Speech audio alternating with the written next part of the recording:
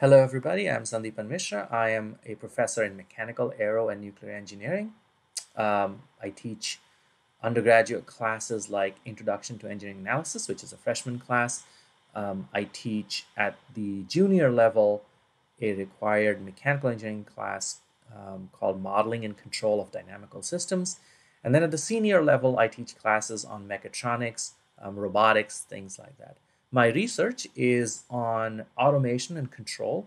That basically means how to make um, vehicles, drones, 3D um, printers autonomous uh, by using sensor measurements and then figuring out what to do with those sensor measurements for controlling a system.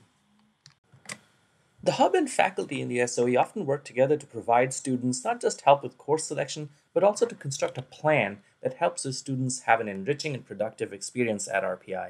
Of course, all of this is built on the students' interests, their long term plans, and their skills. Um, the reason why this works is because the hub and faculty have complementary perspective on the education that students get over the course of four years at RPI. On the one hand, the hub team is extremely familiar with the big picture curriculum of the Institute in general and, and the School of Engineering in particular. On the other hand, faculty usually provide specialized information to students about upper level courses, research projects, career options within their field, and of course, how the course selection affects their future career options. The Hub advisors do a fantastic job of connecting students interested in a specialty inside their major with faculty that do research in that field. For example, I work on robotics and mechatronics, and every semester, a handful of students knock on my door after hearing about my research from their hub advisor. And um, that starts a relationship between the student and myself, and that could last over their entire uh, bachelor's. It could go last beyond that. I've had students who have started with me as undergraduate research assistants and then worked with me all the way through their PhD. On a larger scale, every semester, the Hub also organizes events where faculty and students interact and mingle. We as faculty get to meet new students, and the students get an opportunity to speak with us one on one or in a group. And in my opinion, it's one of the most fun and well attended events that I get to attend with students.